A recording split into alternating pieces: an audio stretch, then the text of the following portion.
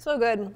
The layers are just so buttery and flaky. They really just join together to make a really delicious pastry.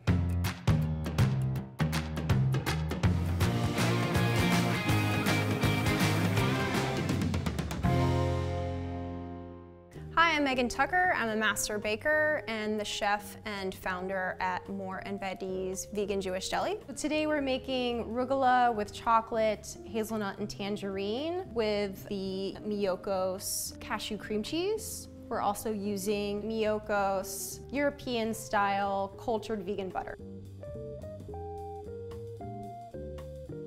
We're gonna start by creaming our butter and cream cheese in the mixer. This recipe means a lot to me because it was a favorite family recipe and so recreating flavors from my childhood is very special to me to be able to have it today made vegan with plant-based ingredients. We want to set our butter out on the counter for a little while so that it is a little bit closer to room temperature, but we don't want it to get too soft. So now we have the Miyoko's cream cheese, which also is at room temperature. And we're gonna use the whole thing, all eight ounces. And we're using the paddle attachment to the mixer because we are creaming the butter and the cream cheese together. And we don't want to incorporate any air, and so that's why we're not using the whisk we're gonna mix this on a low speed for about two minutes until the butter and the cream cheese comes together.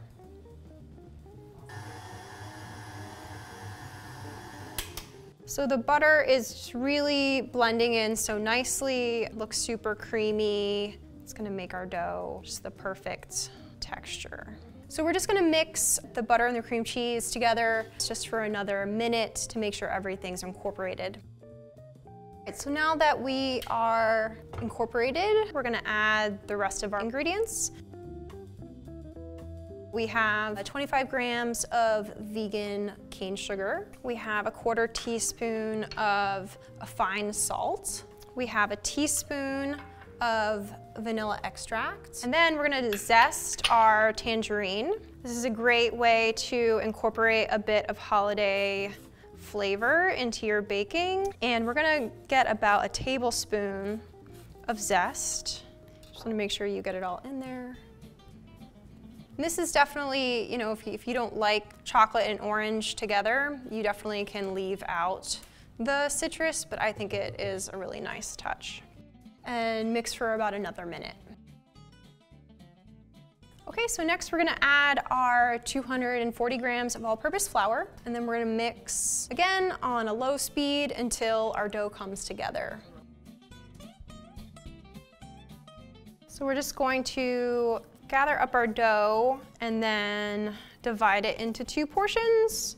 We're gonna set out two pieces of plastic wrap for our two portions of dough, and you don't need to weigh the dough or have a exact perfect uh, division, but you just wanna eyeball it and make sure they look about even. So we're just gonna fold over the plastic wrap and start to flatten out our dough a little bit.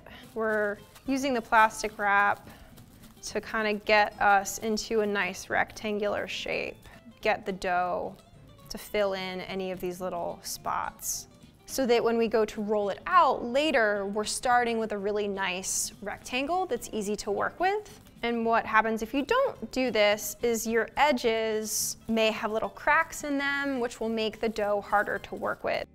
And then just as a final step here, you want to, as much as you can, kind of even out the dough so it's about the same thickness all the way through, and that's just gonna help us, again, when we go to roll out the dough.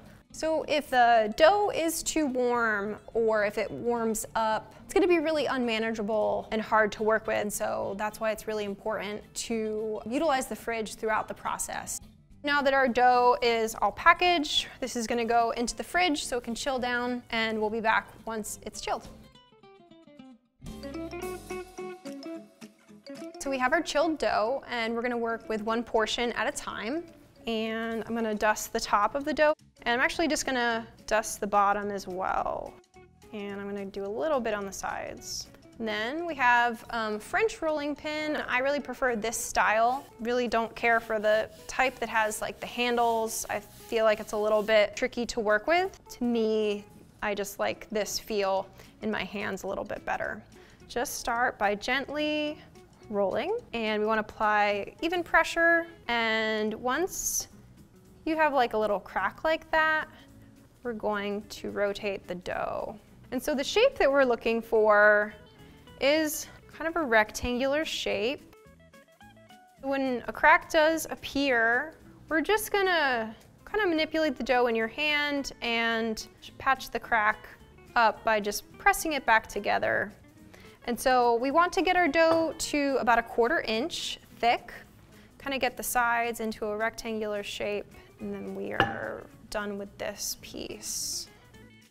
So I'm not panicking because the dough, I'm gonna be able to move it pretty easily. And we're just gonna scooch it over, kind of use gravity to help us. And then we're just gonna kind of repair the dough and get it back into the shape that we want.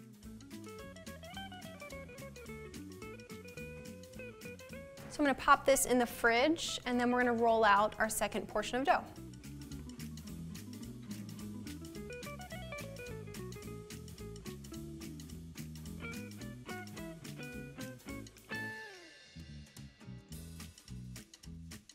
So we have our chilled dough. You can see it looks so nice with our little tangerine zests in there. So now for the fillings, we have chocolate hazelnut spread that is vegan. Just gonna give it a little bit of a mix. And then we're gonna add a thin layer to our dough. We're gonna leave a about a quarter inch around the edge. And then when you get to the end, you just want to kind of go over the whole thing and that'll help you get full coverage. And then we're going to roll up our dough, kind of like you would imagine a cinnamon roll.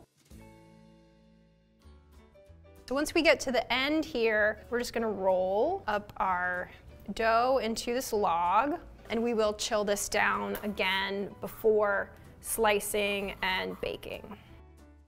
One piece of advice with the recipe, especially around the holidays when you might have a lot going on in your kitchen, you can make the cookies ahead of time and either store them in your freezer or your fridge until you're ready to bake them.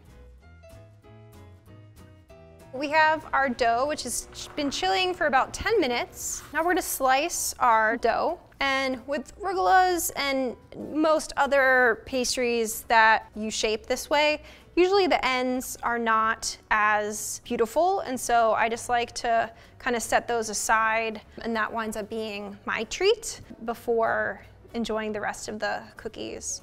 We're gonna cut our cookies into about one inch thick slices.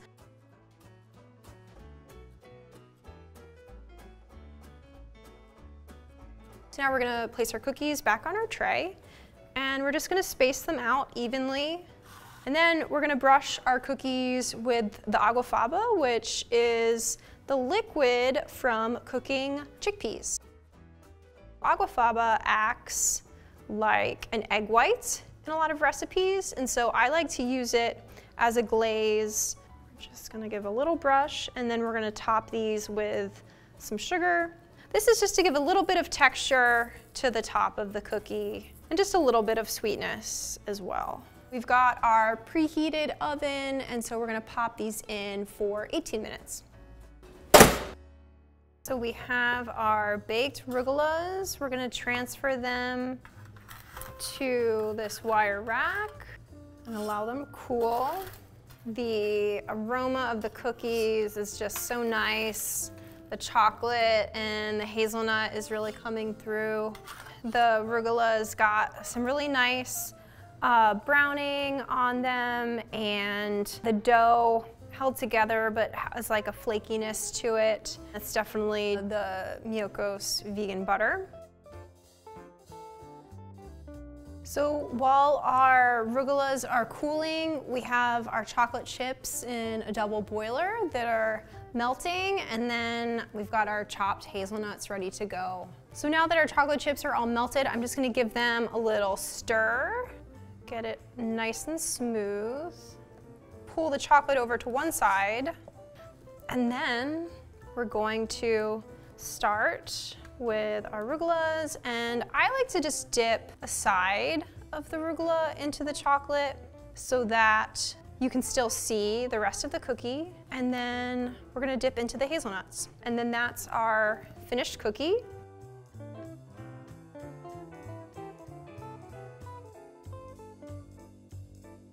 We're gonna let these set. Uh, you can leave them at room temperature or you can pop them in the fridge for a few minutes to let the chocolate harden before you serve them.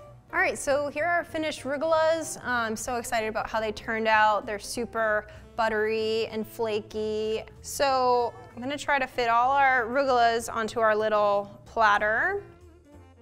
Today we made my chocolate hazelnut and tangerine rugelach and I'm so excited to be here with Miyoko to show my veganized recipe. I can't wait to dig into my rugelachs myself. Thank you all so much for joining us today. So good. The layers of the chocolate and the pastry are just so buttery and flaky. They really just join together to make a really delicious pastry.